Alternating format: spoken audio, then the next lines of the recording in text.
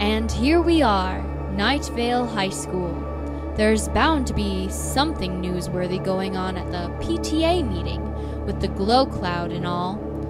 Oh, but there's also a pizza party being held for the Night Vale basketball team, and Carlos is there with his perfect, perfect hair.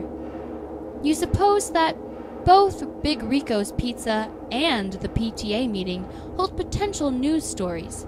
So which do you choose?